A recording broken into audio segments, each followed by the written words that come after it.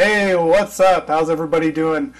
This is Kalen from White Glove Models, and I'm going to tell you a little bit about my channel and what we're all about. So, we will be building a few different uh, models um, at a time. I am going to uh, do some explanation of each model as I build it.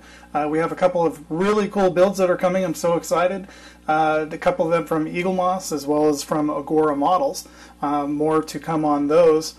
And um, basically, the whole idea um, is to kind of show you guys how um, the models are built, what I do with them, any modifications that I personally make. Um, you don't have to, of course. Um, every everybody's a little bit different when it comes to model making, and um, it's something that I truly enjoy and want to uh, take you along on an adventure with me. So thanks for coming to my channel. Remember to subscribe and hit that like button if you like it and enjoy. Thank you very much.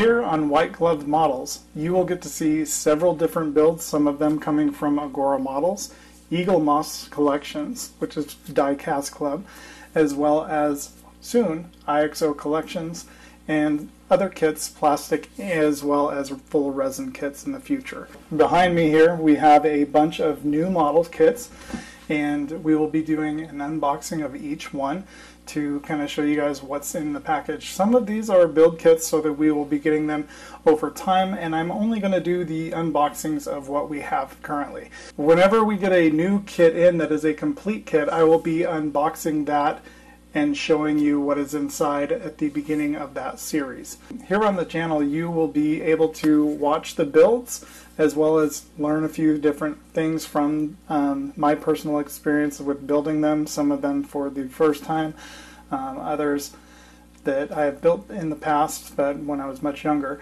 Now I'm fairly new to airbrushing.